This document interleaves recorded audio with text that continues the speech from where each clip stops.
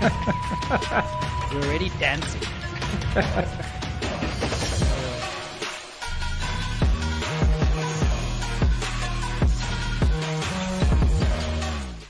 Hi, everybody, and welcome back to yet another cracking edition of the Matt Brown Show. This is the Secrets of Fail series where we're talking to successful uh, CEOs.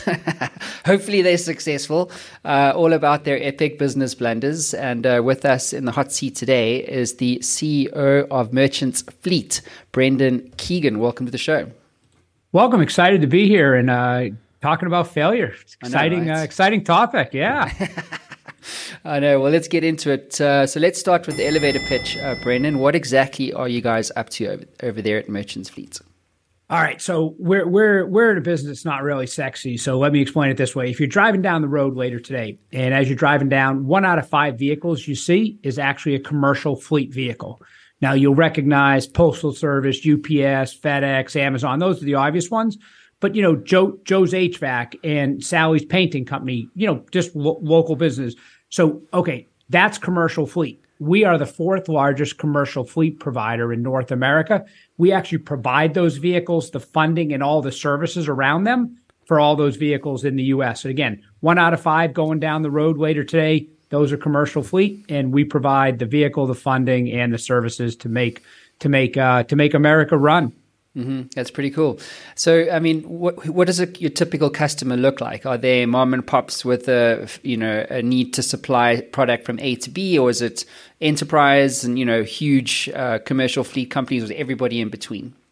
Yeah, well, you know, we're about a three billion dollar company, so we tend to focus on the larger fleets. So we are big in last mile. Think of last mile, all the home delivery and e-commerce companies that are showing up at your your house. Um, th- those are clients of ours, as well as companies that are coming out to uh, for pest control. You know, you, you might see a you might see a Toyota Tundra pull up. They got chemicals in the back, all that specially upfitted equipment. There's that. We're in 20 different industries, and uh, you know, again, you know, it's exciting if you're if you're in this industry. But literally, after if you listen to this and you drive down the highway today, all of a sudden you'll realize well, there's there's a pest company, there's an HVAC company, there's a painting company, uh, there's an infrastructure company. Oh wow, there's a Verizon, and, and you'll you'll literally see vehicle after vehicle. So you know we're we're across all those industries, but we tend to work with larger clients that have you know in excess of 100 units, as all the way up to 100,000 uh, oh. units in their in their fleet.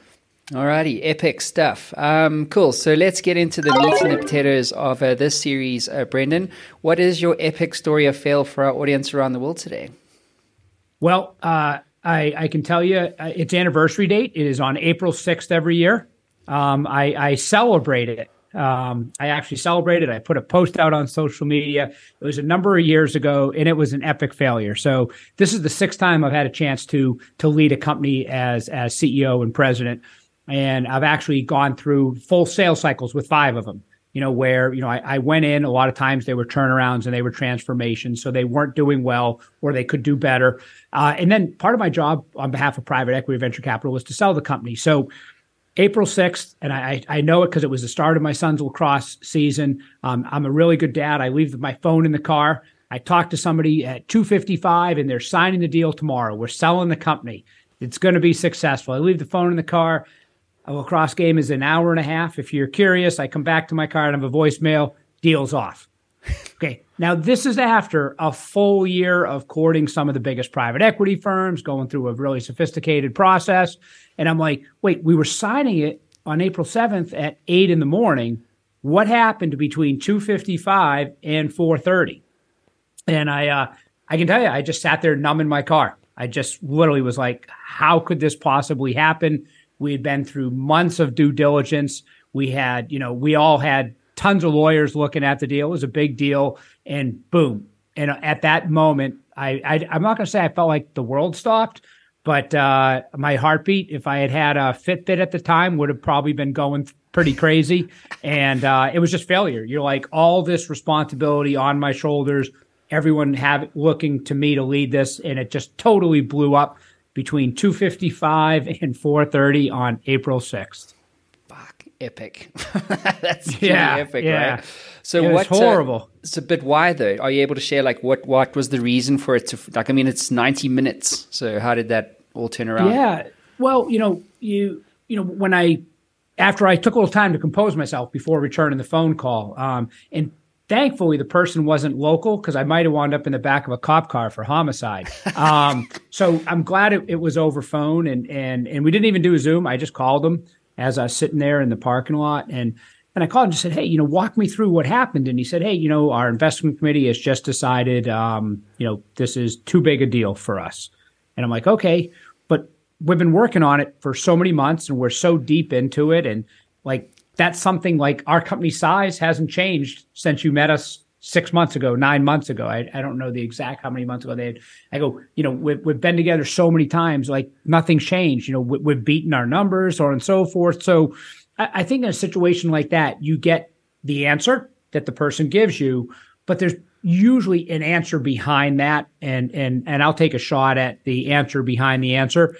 Um, you know, sometimes in large private equity firms, you know, they're they're partner based, and I think there were a few partners that just didn't like the deal from the get go, and the the partners that were leading it probably muscled it to get it through because they really wanted to do it. And my guess is on that last day when they were all passing the paper around to sign off, the the partners that didn't want to do it got really vocal, and uh, the partners that didn't want to do it didn't have the political capital to push it through. Mm. So, um, but you know, it kind of independent of whatever reason, you kind of just sit back and you go, so here's the, the, the pile that I'm left to deal with starting April, April 7th. Yeah, the, I've also been, or maybe probably not, haven't done deals that size, but certainly sold businesses and had had had you know like twelve meetings, you know, because it takes like a year to sell something, um, and then you you you know you get to the final thing, and then it's just like you're left with the bag of vacuum. It's like, well, you know. yeah, you know, what I what I'm used to is, you know, you go out to 40, 50 buyers, you narrow the list, six, seven, eight people bid, you get two, three finalists, you narrow it to one. And um, you're very familiar with, you know, there's going to be 30 40 people that don't want to, you know, buy your business and, and they're weeded out early. Never have I been through three rounds where you're at the the final yeah, table. I mean, er- yeah. everything has been negotiated and and you know, at that point, you know, they've bought off on, they've written off on the press release that's going out the next morning. So I mean, they've brought their PR firm in. First time, you know, um, I've ever had it happen at that late a stage, and uh, and it's actually at that late a stage, it, it's the roughest because everyone's expectations mm. are set and everyone's exhausted. It mm-hmm. takes a lot to get it to that um, to that point. So uh, definitely, definitely a different feeling to have. Yeah, it's frustrating, man. So tell me, uh, Brendan, when you think back at that or on that time, and, and when you re- when you reflect on that experience, what stands out for you as a key lesson that you now take forward with you? Uh, well, the first thing that I did is is is you know I, I just took a little time, uh, called my wife first, called my CFO, and then and then I I sent a, a uh, note to the board and said, hey, here's what happened, um, and I don't think that we should get on a phone later today. I think everyone ought to just take the afternoon, take the evening, and and give us a day. But uh, if I had to summarize, like you know, what what did I learn? The first thing I'd say is you got to lean into failure. Like like it's not going to fix itself. Like if if I had said, "Oh man, I don't know what to do," or "This isn't my fault," or um, "What do you guys think we should do?" Now that's part of the process, asking for others' input, but you have to lean into it. You got to say, "Okay, it failed and and I am going to be the person to to help get it back on track. So the first thing you got to do is is really lean into the failure and accept it. Uh, I'd say the second thing I learned is you you got to take time to breathe and assess. So you know to have called a board meeting at 5:30 or 6 p.m. it wouldn't have been productive. It, it, it just wouldn't. Everyone would have been you know, in a, in a in a very in a very reasonable way, bitching, complaining, what's going on. It just everybody needed their own time to to process. Okay, the third thing, and I think maybe one of the most important, once you wake up the next day, you got to move on quickly. Well, you got to say that was April sixth. Okay, got it, done. Mm. Today's April seventh, and by the way, um, not everyone's going to move on with you. You're going to have people that on April 7th and on April 8th and on May 8th and June 8th are negative, are toxic, and are going, well, hey, if that had happened previously, you just got to block that because it's not. You know, it's not like you got to sit there and say, hey, that was April 6th. That no longer exists. That's that's evaporated. But you are going to have people that want to relive that. And in those moments, you got to stay positive because mm. it, it's so easy to get drugged down into, hey, well, if that had happened April 6th, we wouldn't be doing that. It's so easy to go, oh, I agree. And, and next thing you know, you just spent the afternoon, a day, whatever, um, being negative. That's not going to get you to to where you want to go. But in, in staying positive, I, what I've found, surround yourself with good people because it's hard. At that point, you you feel alone. You feel uh, the weight of the world on you. But if you have good people around you, they're not going to be toxic. They're not going to be negative. They're going to sense your positivity. They're going to see you taking responsibility and leaning in, and then they're going to lean in on you, and they're going to be there with you.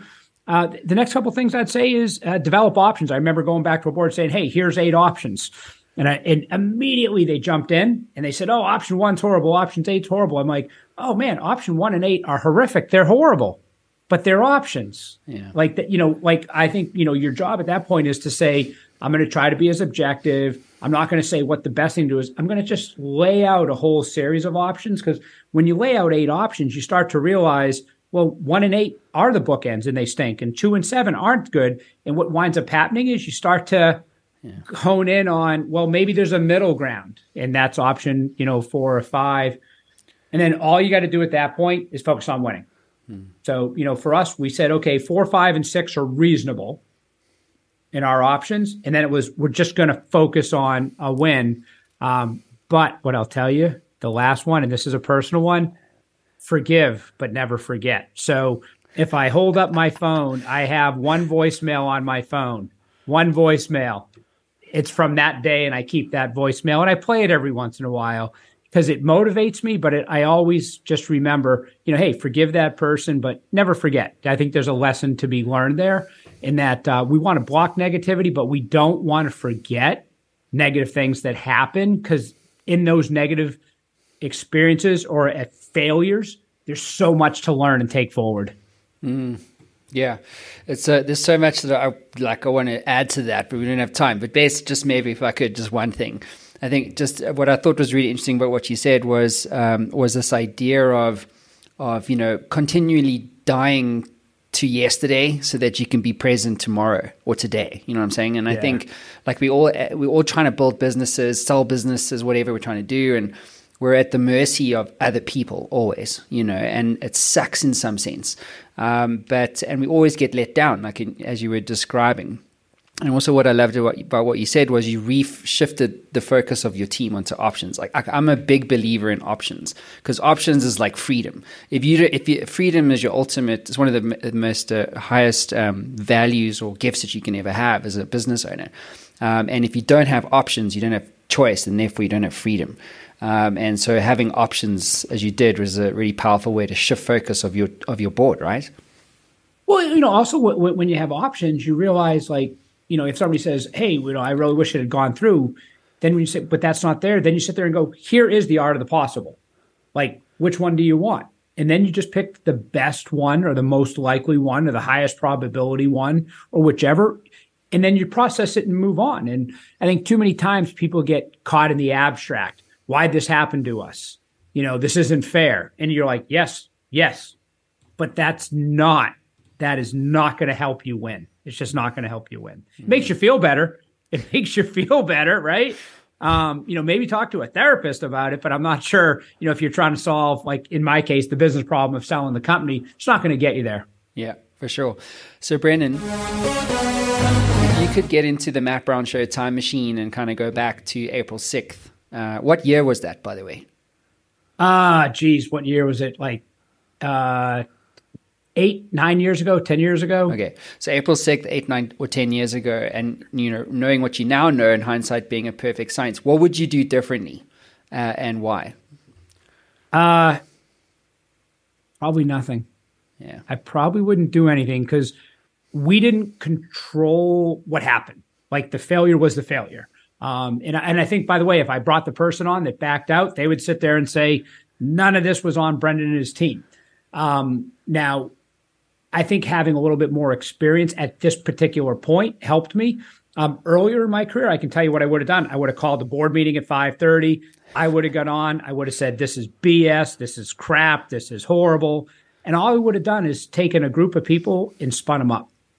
Um, and I think just having a little bit more maturity. And by the way, when I, when some of them started calling me saying, "Hey, can we talk about it?" Uh, no, we're going to talk about it tomorrow. Because like in that moment, we all just needed to let the emotion just go. Mm. Um, so if I could in in a time machine, um, you know, are there lots of little things? Sure, but I think the I think when things happen and it's raw, I think that's where growth comes, development comes. Mm-hmm. Um, and I can tell you, my my development in my career has been about my EQ. Um, I look back at you know where I was 20 years ago, and I had the EQ of like a small mouse. Um, you know, like like like you know, I just was was really, if you will, aggressive. You know, hey, we can solve anything, and you know, why this happen? And I think as you mature and you have more experience and you gain more EQ and you're more self aware of you and others, you really learn everything doesn't have to happen today. And and that would probably be my maybe my parting advice is you know channel your EQ, slow things down. Have you ever heard of like an athlete in a championship game say the game just slowed down and it came to me? Yeah. S- same thing here. Slow the game down, slow your business down, and let it come to you, and get in that flow state. Mm. Brendan, what is your advice to other CEOs uh, listening or watching us right now about the importance of failing or, or failure in becoming successful? Yeah, I actually talked about it with my team last week. What I'll tell you is if, if you're leading a company, CEO, executive director, managing partner, and you're not failing, I'll tell you right now, you're not building anything great. You're building something good. You're building something average. Um, if you're building something great, you're failing. You're you're you're pushing the edges. You're pushing the brown boundaries of services in your industry or thought leadership or being progressive or trying new things. But if you're not failing, what I'd say when you look in the mirror tomorrow morning, when you get up, go, hey, I'm CEO and managing partner of an average company. And if you're good with that, keep on going. But if you look in the mirror and you say, no, wait, I want to be managing partner of a great company, then get get your butt in the office and say to people, hey, we have to have the courage to fail and the faith to succeed. Mm. Beautiful, man. Tell me, uh, Brendan, uh, just very quickly, what about books and tools or resources that you you know that you've used or read recently or over the last twenty years, or however, however long, that you recommend to other entrepreneurs and CEOs to to consume on their journey? Yeah, first of all, the best book I've ever read, and I recommend it to everybody, is The Tipping Point by Malcolm Gladwell. And every after I read that book, and every company I've gone into, I've kind of said, how are we going to get to a tipping point with our services or with our people or with the change where we go from having, you know, eight, 10 people per, percent of people like it to more. Tipping points, great. Um, Geoffrey Moore's Crossing the Chasm, where he talks about going from innovators to early adopters to the early majority, I, I think is is fantastic. Um, totally selfish here. Um, you know, last week uh, I published, or uh, in April, I published a book with Forbes called The FUD Factor. Uh, facing your fear, uncertainty, and doubt to achieve the impossible. So I'm the author. So totally, total self plug. And and but what I tell you is, it, it's it really just I, I got a, a, lot of people in my network and people from 20 to 50 and told their stories of how they overcame their fear, uncertainty, and doubt. Because everyone, every one of us is afraid of failure. Um, so I'd say it, you know, it's kind of a contemporary book. Um, it's a quick read. You know, that would be another. Um, and and so those would be a, a few that I'd recommend. Cool. Love it. Shameless self promotion here on the Matt Brown Show. there you go. hey, but but hey, right after I admitted failure, so you know, yeah, yeah exactly. A, a, a, little humility and then a bounce back. Yeah, exactly. Way to box bet it. no, that's all good. Well, congrats on the book, brother. I think that's awesome. Um, and um, yeah, just what an amazing story. Um, and so thanks so much, Brendan, for being on the show and for being vulnerable and letting the world know in your own way that it's okay to fail and, and in business. So appreciate you for being on the show. All right, Matt. Hey, thanks for creating this uh, this conversation. I think it's really important for entrepreneurs to know that failing is just part of succeeding. Uh huh. Exactly. Everybody else, we'll see you all again soon. Cheers.